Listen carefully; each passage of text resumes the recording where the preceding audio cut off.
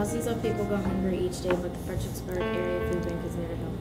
The food bank has all kinds of different food programs to help the amount of who's hungry in the area. To help, you can donate your time, food, or money. Any of them would help out greatly.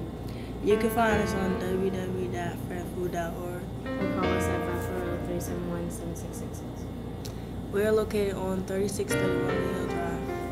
Every donation helps the cause, so give back and help less people starve.